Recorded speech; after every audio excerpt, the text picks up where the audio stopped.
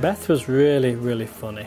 I think that's one of the things that would say most about her. You know, she could be really opinionated. you know, she, uh, she had to have her way. Beth was sick for nine months. We were told that she had leukemia.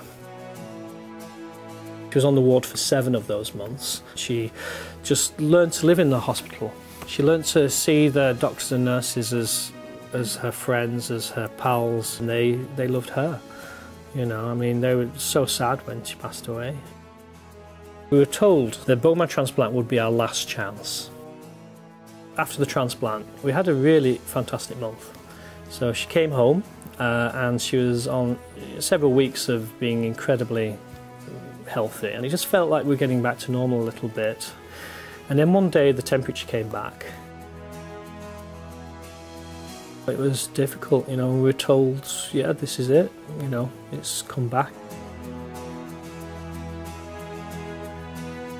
When you're told your daughter's going to die, there's a couple of things that come into your mind at the beginning. The first thing is, you know, is it going to hurt? The second question is, well, you know, is there a children's hospice? You know, what's the what's the, what's next? Uh, we were told, well, there's no children's hospice in Ireland. It shocked us. There's such a difference in knowing that you're moving from a, a fight of trying to cure a child to one of knowing that you're going to have to uh, you know, try to make their death as comfortable as possible. She lasted six days after that.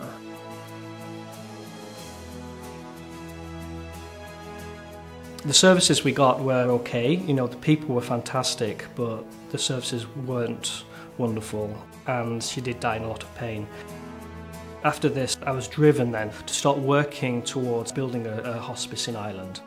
I heard about this movement a wonderful woman, Jane McKenna, she lost both her daughters. Uh, so she was leading this fight to build a hospice. David got in touch. In their case, I know poor Beth had a pretty tough time. They were very much alone with this at home. They would have really wished, you know, more than anything in the world that they could have had the support of what we've got here now at LauraLynn House. That was really how we started our connection and the connection then obviously with Intel. LauraLynn opened in 2011 and it's into its second year now. To actually develop the building itself cost 5.5 million. We got no government support. When you try to raise it through coffee mornings and local groups and initiatives and people like Intel coming on board, it's been fantastic. Alongside me all this time has been Kim, my wife, and Harry, and my youngest daughter Kate, who was born after Beth died. They've all been fantastic.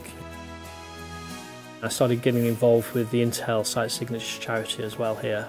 That really has been fantastic. You know, we found you know tremendous enthusiasm for raising money for a children's hospice in Ireland here at Intel. Literally hundreds and hundreds of Intel employees have come forward and uh, volunteered for dozens of events. The site charity committee is brilliant. They came behind me 100%. You know, we ran a, a big cycle ride, the fun race, bake sales, family fun days, in, you know, where employees dressed up as clowns and uh, we brought in puppet shows.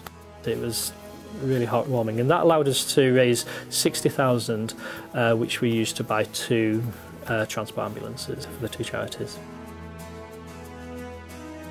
We also made a great contribution in terms of the skills and expertise that we could bring to the building of the hospice. Intel have been fantastic to basically do everything from the day-to-day -day fundraising and support to their team initiatives and then ultimately I suppose to come out here and take the time and meet with our architect and designers and put us on the right track in terms of what we'd need from an IT point of view and make sure from day one the wiring was done correctly and our networking was correct. During Beth's illness and afterwards, and the last few years, you know, I look back, they're incredibly dark years. But I found that during these times, there's been a lot um, which has kept me going. The Intel family, in many ways, is it's sheltered at times when I've really needed it. Having all these people alongside you, you know, saying, you know, we, we don't understand your pain, but we want to stand by you and raise money or awareness, we want to help. That's an astonishing thing. This has helped me tremendously, you know, and it continues to help me tremendously. It's been a few years raising money and awareness and it's not been an easy fight. But that day when we opened the hospice, 2011 was astonishing. The president was there, music. It was a sad day, but it was a really happy day too.